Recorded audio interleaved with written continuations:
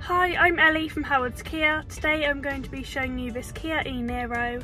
This car features 17 inch alloy wheels, parking sensors with a reverse camera, satellite navigation, a sunroof, heated and ventilated front seats, a heated steering wheel, an electric driver's seat, JBL speakers, cruise control with the speed limiter, Bluetooth connectivity and air conditioning.